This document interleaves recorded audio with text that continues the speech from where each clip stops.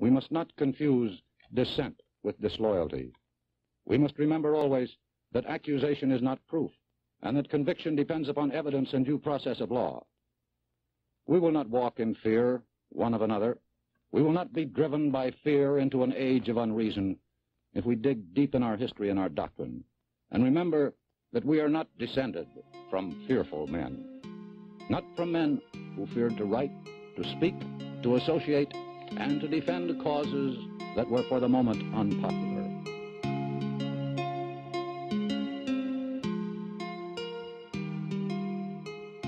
Welcome, fellow plebs. My name is Sean, and this is Tribunus Plebis.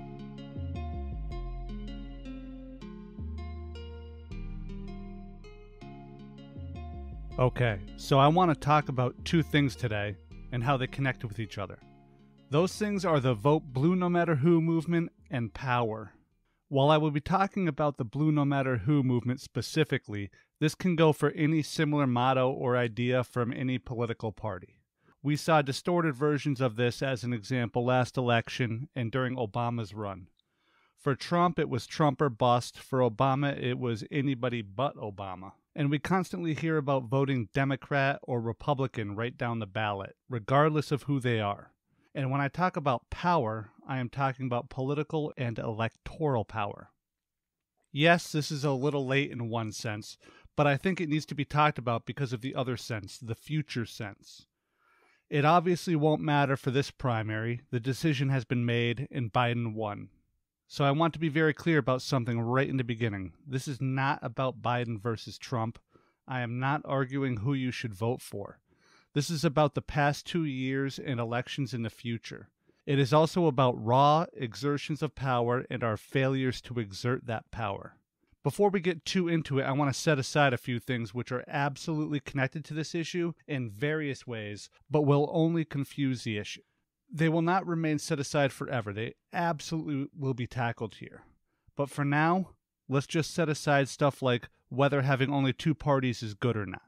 I mean, it isn't, but let's just set it aside for a second. Let's set aside money in politics and the corruption of lobbyists, and also the revolving door from government to lobbies, think tanks, and corporate boards.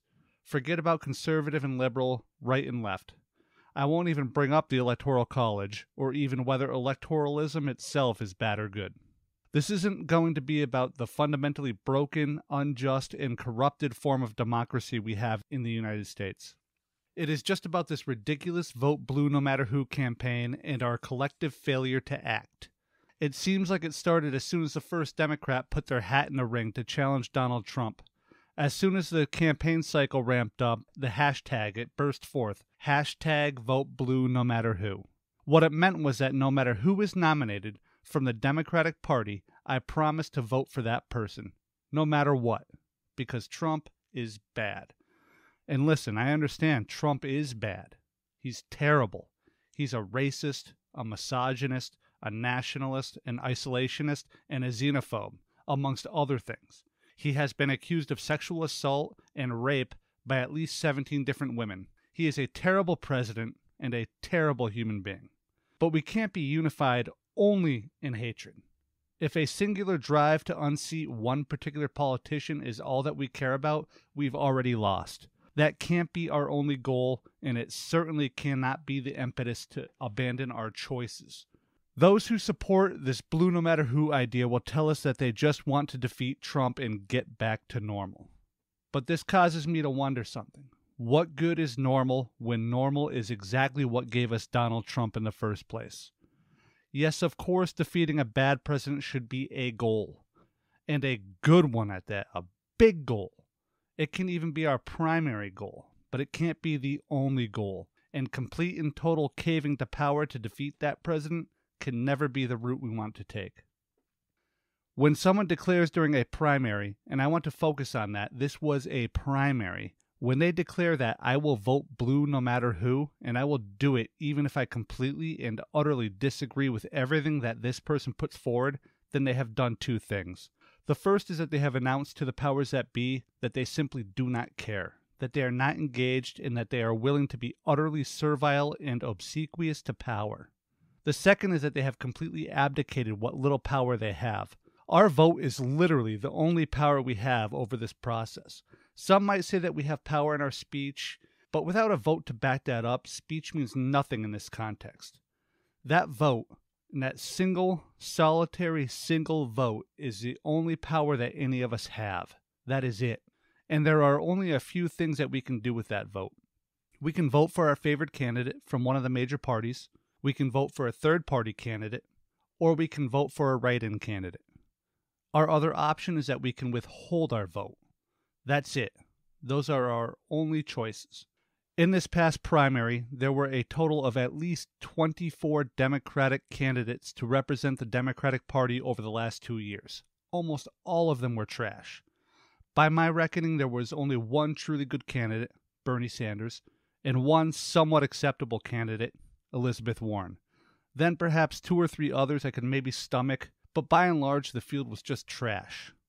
Amongst that vast array of trash were the party backed favorites, Joe Biden and Kamala Harris, and a slew of others who the Democratic Party would adopt for a month or two throughout the primary before discarding. People with names like Klobuchar and the especially repugnant Pete Buttigieg. So, what happens when we chant vote blue no matter who in an environment like this?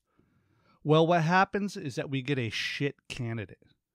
The reason why we get a shit candidate is because every time we type, say, repeat, and invoke this blue no matter who nonsense, we signal the powers that be that we do not care. They can go ahead and get behind and roll out whatever shitty, mayonnaise brained, centrist, moderate moron with rapey hands that they want, and we are going to vote for them. Being concerned with defeating a particular president cannot be wholly more important than policy and structural change more broadly, especially during a primary. When we give up on any semblance of fighting for change and say we will vote blue no matter who, we give the party carte blanche to do whatever they want. We are explicitly telling them that they do not need to take our wants and needs into consideration. We signal that they do not have to include any policies that we desperately want. They do not even have to campaign with an eye for our vote. They have it already and they know it because we told them so. We start off with a I want Medicare for all, and we talk about how health care is the single most important issue in the election, and then we include the hashtag vote blue no matter who. That second part, the hashtag, the vote blue no matter who part, that part completely erases anything before it. If we are willing to vote for anyone with a D next to their name, then why would a party feel even the slightest urge, let alone obligation, to try to win us over with policy? Why would they even deign to listen to us? It's like needing a new car to win an extremely important road race, and you walk into a car dealership with a $100,000 and you tell the sales manager, hey, I have a 100 grand for a car. I want that sweet new twin turbo Porsche, but I am totally willing to give you this 100 grand for any car you want to sell me. And then they roll out a rusty 1972 VW bus. They take your cash, they give the van a push start, slap it on the roof, and send you on your way in a cloud of black smoke. And you leave that car lot with a big old smile on your face, like, hey, the car started. This is great. I'm in the race. Meanwhile, the dealership is laughing at you. You wanted a Porsche and got a jalopy because you were too scared to demand anything. You were too scared to even bluff. And here's the thing about the primary we had nothing to lose by fighting. We literally had nothing to lose. What's the worst that could have happened by playing a little hardball? You get a bad candidate? You got Joe fucking Biden. You scream Bernie or bust or Warren or nobody or Booker or bust or whatever. Why is that bad? Your primary day comes around, you can still vote for somebody else. The general election comes and you can still vote for whoever wins. By standing your ground and fighting, you lose nothing. By abdicating all of your strength, you lose everything. Now, I can't tell you exactly when this hashtag started or by who, but I can guarantee it was perpetuated by the Democratic Party once they got wind of it. Are we really to believe that vote blue no matter who and widespread campaigns telling every candidate and their supporters to not be mean to each other was really a grassroots movement? When we see something like this take off, we need to take a moment and ask us who it serves. In this case, it served literally nobody but the DNC and their favorite moderate, corporatist, centrist candidate. The DNC saw people surrendering their power, their only power, and they manufactured consent by marketing it back to them. And this isn't the fault of rank and file voters. I understand the plight. We want Trump out and we grasp at anything that might hasten that exit.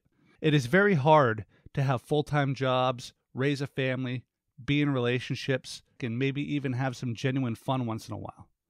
All while paying close attention to politics and probably even more importantly, the propaganda and gaslighting. I 100% understand that, especially when we are getting nonsense like the stuff peddled by CNN, Fox, and MSNBC dumped into our brains in 10 minute bursts between commercial breaks, and it happens 24 7, 365. These media outlets, by the way, are controlled by the exact same corporate scumbags that own both of the political parties outright. We need to consume, analyze, and react to what is happening in a more critical way. We can't continue to support progressive ideals and then flip to somebody like Biden at the drop of a hat just because he isn't Republican. We certainly cannot volunteer to do that, to flip to a bad candidate, even before the voting has occurred. That sort of thing has got to become obsolete before we destroy ourselves. That last part, the analyzing and being critical of media narratives part, is extremely difficult given the circumstances of our lives and the fact that the more mainstream media outlets, again, Fox News, CNN, the New York Times, and so on, are just as concerned with the maintenance of traditional power as the two political parties are. The really weird thing that this encourages is the phenomena of Warren and Sanders supporters saying vote blue no matter who as well. And they said it a lot and frequently. Like for at least 18 months, it was pretty much every day. Vote blue no matter who. Anybody but Trump. Vote blue no matter who. Blue no matter. Uh, on and on until it blends into a cacophony of bullshit that it is. And like I said, they were supporting the most progressive candidates. Candidates with some semblance of a shot at this thing. They were supporting candidates who promised actual change, who had actual ideas and plans. They supported candidates who could think and speak and who had done some work to think about, create, fund, and plan for policy platforms. And they threw it all away by chanting blue no matter who instead of working to support the candidate they favored. Week after week of blue no matter who material, and not a single post about how good Warren's plans were. No post about demanding better health care. No post differentiating between candidates. No. Just vote blue no matter who, over and over and over again. This is really one of the key points I want to make here. This is not about particular candidates or a particular party. It has to be about policy, progress, and change, not a cult of personality or a reaffirmation of the politics of a corrupt po- political party. Voters said they wanted Medicare for all, money out of politics, stu- substantive change, a fresh voice. They said they did not want a centrist or a moderate. They did not want another old white man with bad politics. They did not want more of the same and the Democratic establishment started to hear them. But then they said, vote blue no matter who. And the Democratic Party heard them again.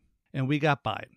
The guy who said he would veto Medicare for all is a corporate hack, explicitly promises that nothing will change. He is, at best, a moderate, centrist, old white man with bad politics who would bring in more of the same. And this does not even begin to address whether whether or not Biden is actually a more just candidate. He refused to back busing, was instrumental in passing the deeply racist and classist Clinton crime bill, pushed for the war on crime, which we call the war in Iraq, and has a very real sexual assault and rape allegation against him. Not to mention all the creepy hair sniffing and disturbingly uncomfortable shoulder rubs he gave to young girls. And that is only if he were to win the general election, which he won't. I am going to read a quote here from Frederick Douglass. He said it during a speech commemorating the West India Emancipation on August 4, 1857, in New York. Quote, this struggle may be a moral one, or it may be a physical one, and it may be both moral and physical, but it must be a struggle. Power concedes nothing without a demand. It never did, and it never will. Find out just what any people will quietly submit to, and you have found the exact measure of injustice and wrong which will be imposed upon them and these will continue till they are resisted with either words or blows or with both. The limits of tyrants are prescribed by the endurance of those whom they oppress. Power concedes nothing without a demand. It never did, and it never will. The clarity of that paragraph in those two sentences is truly stunning. The absolute truth Mr. Douglass spoke there is made only more sharp and more clear by the weakness of the vote blue no matter who astroturf movement. We saw this play out in the last presidential election after Trump descended that ridiculous escalator and declared his candidacy. Now, I'm not sure exactly how many of Trump's earliest supporters actually believed he could win, and I'm not sure how many of those who voted for him in the earliest primaries actually believed it, but the point is that they exerted power and changed the game. Trump voters did not say that they wanted to vote for Trump but would accept any other candidate.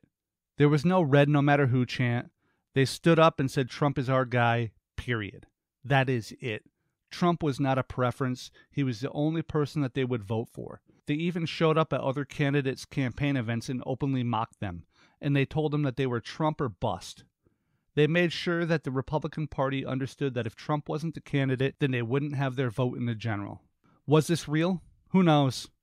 I tend to think that the, that virtually all of these folks would have voted against Hillary Clinton regardless, but the threat was enough to help change Republican politics for the near future at least.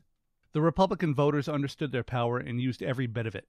They understood that exerting that power was their only lever and they exerted the hell out of it. Flaccid obedience has never and will never engender change. Change requires demands. Change requires struggle, political, moral, or even physical.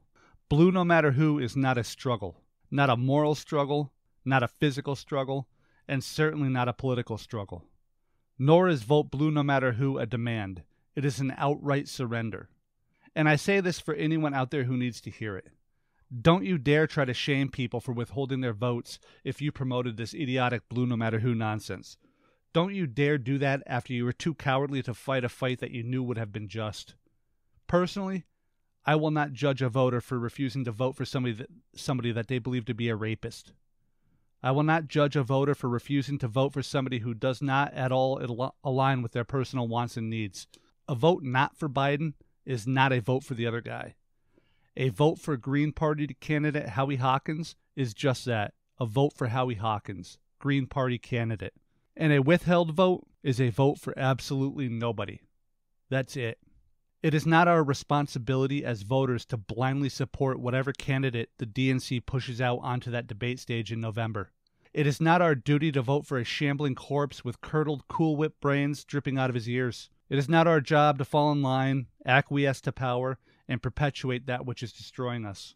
The onus here is not on the citizen to willingly vote against their better interest. The onus is on the citizens ourselves to make demands of our parties and force them to bend to our collective wills, not do as they say.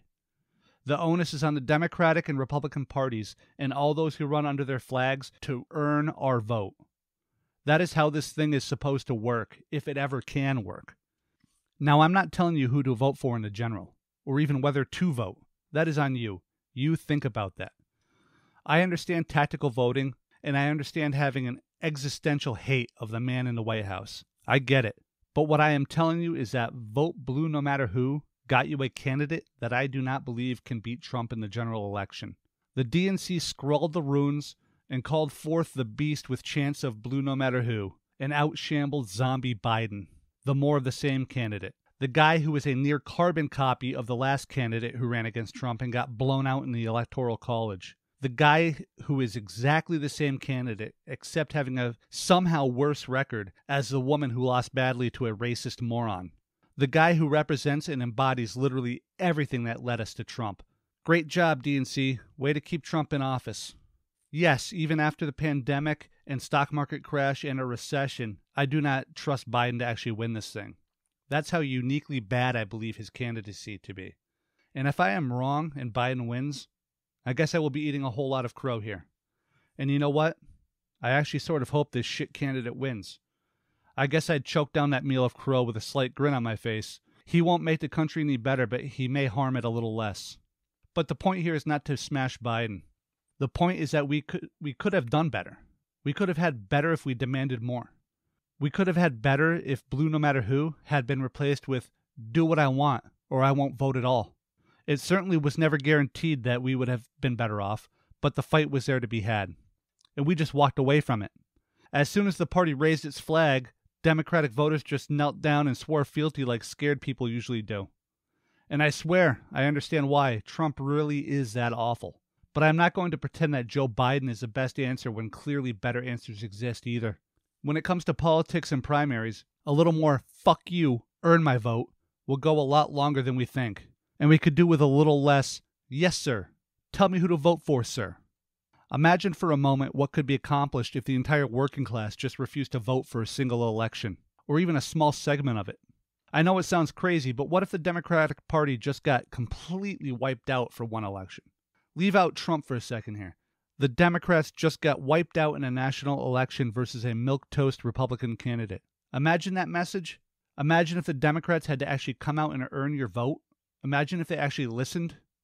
And I already know what some of my more vocal friends who care about this would say. They would say, next election.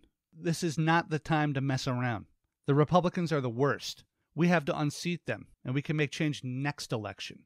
And maybe they'd throw some, you know, Republicans or Nazis stuff in there. I don't know. But here's the key thing that next election never comes because the next election will just contain another Republican opponent who will be the next embodiment of evil and they will demand we all vote blue no matter who because this just isn't the time again. It's not the time to assert ourselves. The Republicans can't win. The Republican has to be stopped. All will be lost. Just wait. We will fight for change next election. And on and on it goes. And it's never ending cycle of them versus us when the reality is them and us are almost identical. We wait for change to come instead of demanding it we tell the most vulnerable amongst us next time, which is the same as saying never. Power never concedes without a fight, and we just put our hands in our pockets and stare at our feet. In other words, we wait, and we scream wait. Next year, next election. Just wait. Martin Luther King warned the world against white liberal moderate centrists in his letter from Birmingham jail. He also warned against inaction and waiting. He wrote in part, quote, Frankly, I have yet to engage in a direct action campaign that was well timed in the view of those who have not suffered unduly from the disease of segregation. For years now, I have heard the word wait. It rings in the ear of every Negro with piercing familiarity. This wait has almost always meant never. We must come to see, with one of our distinguished jurists, that justice too long delayed is justice denied. End quote. A lot of people take the last line of that quote justice too long delayed is justice denied, and they use it out of context. They use it to justify more of the same or to try to justify only very small incremental change. But what they do when they take that sentence by itself is that they leave out the rest of the long letter. And even more explicitly, they leave out all of King's very real radicalism, a radicalism which has been intentionally left out of his story by those exact same white moderates that King rails against in his letter. King urged action to make actual change and framed it in his radical belief system, and now his quotes have become so watered down by those white moderates that King distrusted that his words are being used to support the incrementalism he so despised. Yet for the past two years, the vote blue no matter who chant has demanded that we wait. Just wait. Get Trump out, and we can make change next election. Wait, they demand of us. And they ignore that the cry of wait has always meant never.